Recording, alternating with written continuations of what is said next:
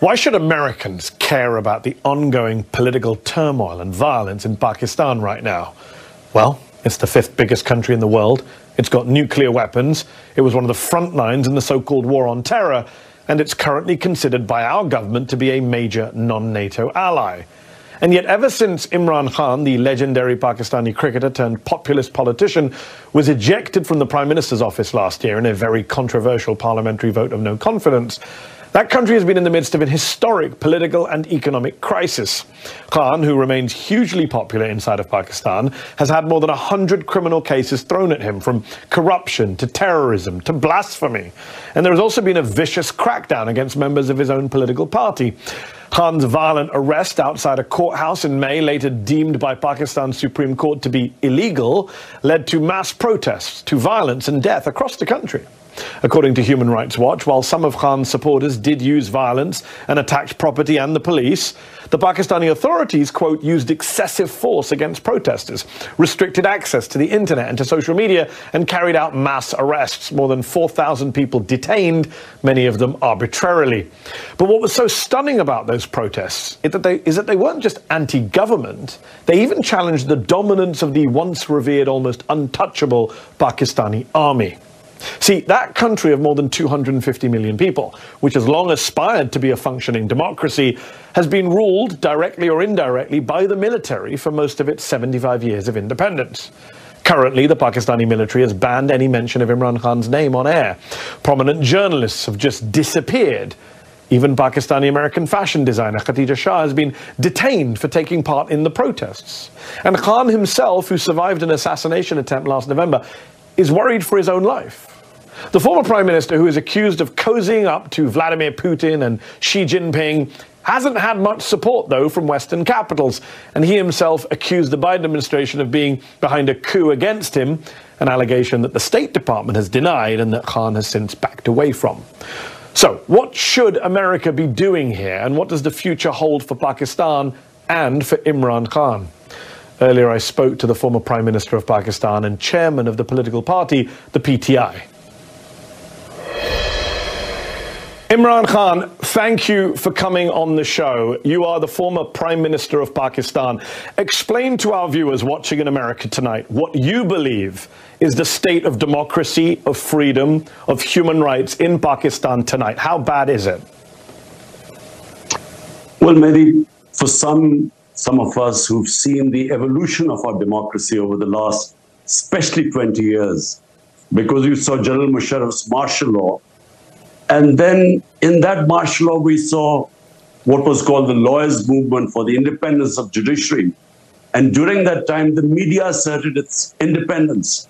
So we were moving towards a democratic system. Two governments came in, stood for five years, and then left elections. Another government took over. So we're moving towards, you know, uh, uh, this uh, what we hoped would be genuine democracy, because normally we had a hybrid system even when the army was not in power, they really controlled the levers from behind. But what is happening right now is uh, a total dismantling of our democracy. It's not a question of what is happening to my party or to me, uh, or these 170 cases and so on, whether I'm in jail or these are not one, but two assassination attempts on me. It's what is happening to the future of this country if our democracy is disbanded. Because rule of law, democracy, and prosperity go hand in hand. When you do not have uh, rule of law, which is what is happening now, it is might is right. There's an yeah. undeclared martial law in Pakistan. Then you know the, the, there's darkness ahead. We are standing on the so, edge of darkness. So, what is your message to the American government tonight, to President Joe Biden? Because, on the one hand, you have urged the U.S. to speak out in the name of democracy and human rights against what's happening in Pakistan right now. But you've also accused the U.S. of being behind a, quote, foreign conspiracy, a coup against you. You repeatedly called what happened to you, quote, U.S. backed regime change. Well, I mean, the facts about the what happened, about me receiving a cipher coded message from a from a ambassador in Washington. This is uh, uh, 6th March 22. which said that the American official, Under Secretary of State, telling our ambassador in an official meeting that unless you get rid of Imran Khan in a vote of no confidence, there'll be consequences. And then the vote of confidence, no confidence takes place the next day. And within weeks, my government is gone. So I merely stated the facts. And by the way, I put the cipher in front of the cabinet, in front of the um, National Security Council, and there was an official protest from Pakistan for interfering in our internal affairs. But that's behind me. Look, all I want the US to do is their professed aims of so called Western values of democracy, rule of law, human rights. They shouldn't worry about what is happening to me. They should worry about 250 million people. The, the, the whole democratic structure is being wound up. And we, as I said, we have an undeclared martial law. Surely, so, this is not what the Western countries should want. I mean, they should just speak about, speak out against it. So obviously the Biden administration denies uh, being involved uh, in your ejection from power. The current Pakistani government is clearly afraid of you, hence the mass arrests, the talk of banning your party, the more than 150 legal cases against you. They've said you're a bigger threat to the country than Indian Prime Minister Narendra Modi, uh, rather ridiculously. Do you believe that if elections are held on time in October of this year, that your besieged party can still win and that you can still be Prime Minister again? Surely that's a pipe dream now. Look, out of the, since I've been ousted, out of the 37 by-elections held, 30 have been swept by my, by my party, despite the total support of the establishment to these 12-party coalition. So clearly they are scared. This whole thing, which is which happened to us after 9th May, when I was abducted from within the High Court, abduction, and the way that they abducted me as if I was some terrorist. So the reaction to that was used as a way of just clamping down, crack down on my party. We equated to what Hitler did after the 1933 burning of the German parliament. He cracked down on the communists and wiped them out. This is what's happening now. How could a few cases of arson be made a reason for five, uh, 10,000 of our workers in jail? And every day people are being put in. My entire leadership is in jail. The only way the leadership can come out of jail if they renounce become being part of my party. So it's never happened in this country before. Women have never been put in jail. The entire media has been muzzled. I mean, the military which is the real power in Pakistan, is obviously out to get you. It was army rangers who arrested you outside the courthouse, not police. It's military officials who have told, uh, reportedly told Pakistani journalists not to mention your name on air. Yet your critics would say that you came to power in 2018, everyone knows this, in alliance with that same military, that you for years had close relations with top generals going all the way back to Hamid Gul, the former head of the Pakistani ISI. So the critics would say it's ironic to see you now criticizing the same army and intelligence chiefs who you were once fine with and who helped put you in power in the first place? First, just to correct you, I was abducted by the Rangers from within the court. I was actually sitting in the courtroom. So, uh, you know, just to correct you. Um, and, and, the Supreme Court declared it illegal, and so yes. I was. That's why I was bailed out. Um, look, in Pakistan, Mehdi, the military has directly or indirectly ruled Pakistan for 70 years. Three times martial law, and then the other times through in because they're entrenched. And so whoever does politics has to work with them. Now, when I came to power in 2018, it wasn't because the military engineered to get me into power. They didn't oppose me. Big difference. In 2013, before that, they actually helped Nawaz Sharif get into power, and we proved in the in the rigged elections. In 2018, we asked everyone to open the elections because we came through proper, free, and fair elections. In fact, we felt we lost some seats. But the thing is, I worked with the military. I mean, I worked, military means the army chief. So I worked yeah. pretty well with him. The, the main problem was, you see, I my whole thing is rule of law. I started my movement for justice 27 years ago, wanting to bring the powerful mafias, the political mafias, under the law. This is yeah. where the problem became. You know, he didn't think corruption was that big a thing. You know, he wasn't interested in. And if he had a, and he had the veto power. So that's where I failed. Although we succeeded economically, we did brilliantly dealing with uh, the pandemic, but I failed in the rule you, of law, and I think that's where the problems became. Before the break, I was speaking with former Prime Minister of Pakistan, Imran Khan. We discussed the state of democracy in his country and his message to the American government. But what about the criticisms he's faced from his own time in office? Here's the rest of my interview with him. You have been praised uh, in your handling of the pandemic, and it's interesting to hear you saying you failed in terms of the military. But while there are many Pakistanis who still support you, you're hugely popular. A lot of Pakistanis say, hold on.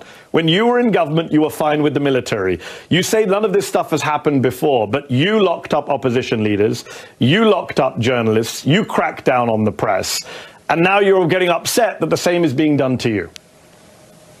Uh, look, you know, the, the term false equivalence. You cannot compare what was going on in my time to this. In fact, General Musharraf martial law was more liberal than what is happening right now. I mean, in our time, you can just name me which channel did we close? I mean, which journalists left the country? Four of our top journalists have left the country. One, fifth one, was wrote a letter to the Supreme Court Chief Justice that his, his life was in danger. He escaped. He was killed in Kenya. Our Understood. best journalist right now, you know, uh, Arshad Sharif, and best uh, Imran Riaz, he's disappeared for 40 days. Yes. I mean, he's, the, and, you, you know, but Chairman so Khan, you cannot I, I'm compare I, what is... I'm not going to dispute I'm not going to dispute what's happening now. I'm very critical of what this government's done. It's not about equivalence, though. It's about that on your watch, you did a lot of these things. Maybe not as badly as the current government, but Reporters Without Borders, for example, they called you a press freedom predator in 2021. They criticized you at the time for threatening, abducting, and torturing journalists. That happened on your watch. Hamid Mir, a very famous Pakistani journalist, he wrote just last month for The Guardian that when you were in office, he wasn't allowed on air, even though you had once called him a favorite anchor. So the problem is that a lot of this stuff did happen on your watch. You were not a champion of the free press. So people say, hold on, now you're saying it's bad when it happens against you. Firstly, uh, the only time that I found out about a journalist being picked up and disappeared was a guy called Matiullah Jan. The next day I got him back. The problems we had were we were at the tail end of the war on terror. And the, the establishment was very worried about any criticism about it. So they were responsible for a few guys who were picked up. But this was nothing compared to what's going on. The only thing what we tried to do was to, there was fake news on social media, and that was you know, causing havoc because they would be slandering people and so on. That's the only thing we tried. But when there was opposition from the media, we didn't even bring those laws in. But again, I mean, there is no comparison what is happening right now. Uh, my name cannot be mentioned on media. I they, hold on, hold on, hold on. Hold on, when you were Prime Minister, Nawaz Sharif's name couldn't be mentioned on air either. That's what your critics would say. You no, did the same thing to Nawaz Sharif. Not at all. No, look, Nawaz Sharif was con convicted by the Supreme Court. He then faked these illnesses and somehow managed to uh, bring out these tests which said he was about to die. Then, then his brother gave an affidavit that he's just going two weeks for treatment to come back. A, a convict. He goes to England and suddenly all illnesses disappear and then he starts giving lectures to Pakistan. He was a convict.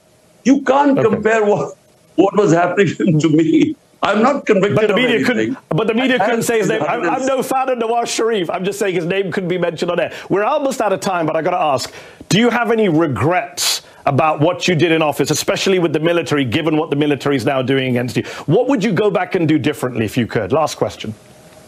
Well, just uh, uh, firstly, I, given you know uh, what happened after I came into power, I should have actually, with a weak coalition government uh, you know, I should not have taken power. I should have gone for elections again.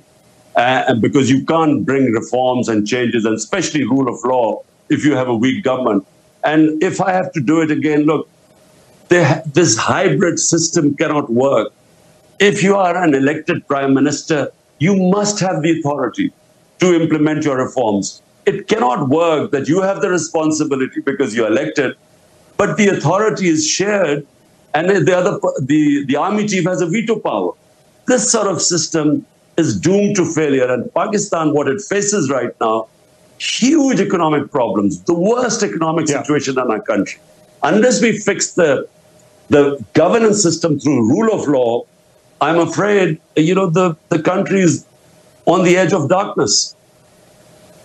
There is no doubt uh, there is a massive political and economic crisis in Pakistan right now. We appreciate you taking time out to speak to us, and I do hope you stay thank safe. You. Imran Khan, former Prime thank Minister you. of Pakistan, thank you.